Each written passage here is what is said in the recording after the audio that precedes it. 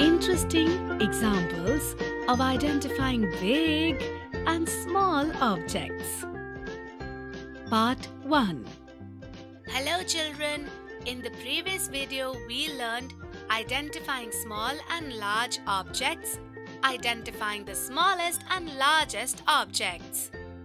In this video we will see some more examples of identifying small and big objects. Today Tinu rat and Minu cat are playing together. They got hungry while playing. Let's eat something, Tinu. Yes, Minu, you are right. I'm very hungry too. Let's go to the kitchen. There we will find some bread to eat. Both Minu and Tinu go to the kitchen. Two breads were kept there. One small bread and one big bread. Children, can you tell which of these is a small bread and which one is the big bread?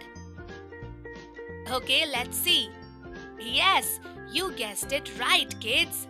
This bread is big and this one is small. Minu the cat is big among them, so she takes the big bread. And Tinu the mouse is small, so he takes small bread. After eating, Tinu and Minu play a lot and then leave for their home. Children, here is Minu's house and here is Tinu's house. Can you tell which one of them has a bigger house? Come on, let's see. Yes, you are right, children. Minu's house is bigger than Tinu's house and Tinu's house is smaller than Minu's house. So kids, you saw Minu cat is big, so she ate big bread and her house is also big. Tinu rat is small, so he took small bread and his house is also small. Today Minu cat and Tinu rat have come together on a picnic. Both have brought something to eat for themselves from home. Hey, Tinu, your lunchbox is so small.